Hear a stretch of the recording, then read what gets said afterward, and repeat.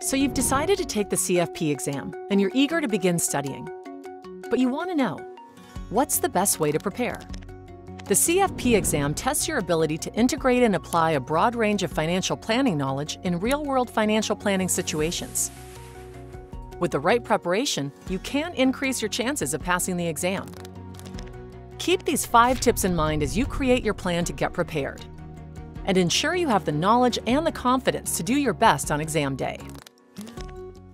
First, develop a study strategy. Take the time to create a study plan that supports your own learning style. Start by familiarizing yourself with all the principal knowledge topics that will be covered on the exam. Topics ranging from income and tax planning to investment planning, retirement planning, and more. Take note of the topics that are most challenging for you so you can spend extra time on them. To guide your study plan and preparations, also make sure to read the CFP Exam Candidate Handbook and the Preparation Toolkit. Both are available in the exam prep section on CFP Board's website. Next, dedicate time to study every week. Nearly 80% of those who pass the CFP exam say they spent 11 hours or more studying every week. Develop a weekly schedule that you can follow to prioritize studying and then stay committed. Those who have passed the CFP exam know that it takes extra work to prepare. But the long term benefits of earning your CFP certification are worth it. Getting support from others is another key ingredient for success. Talk with your employer, family, and friends to discuss your plans and identify ways to arrange and prioritize your commitments and responsibilities while you prepare.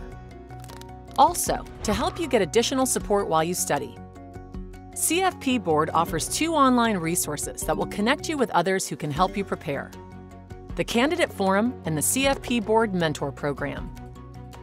The Candidate Forum lets you connect online with other candidates going through the same experience as you. And the Mentor Program pairs you with a dedicated CFP professional who can counsel you on tips and strategies to succeed on the exam. Those who have passed the CFP exam say that the two best ways to ensure their preparation were taking a review course and focusing on practice questions.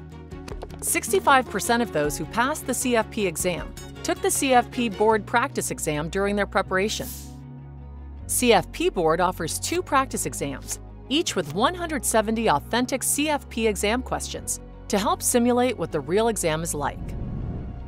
As for taking a review course, It'll help you further strengthen your knowledge of the exam material and spot areas that still need attention. CFP Board's website offers a convenient list of review course providers to help you find the course that's right for you. As a final tip, during all of your preparation, make sure you take care of yourself, keeping up a healthy diet and getting enough sleep, so you can approach your exam day with energy and focus.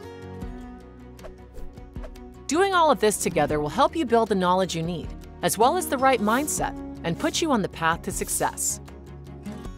You'll have confidence knowing that not only are you equipped with a solid approach for exam day, you're also laying the foundation for a rewarding career as a CFP professional. Learn more and get the resources you need at cfp.net/prepare. And remember, you can do this.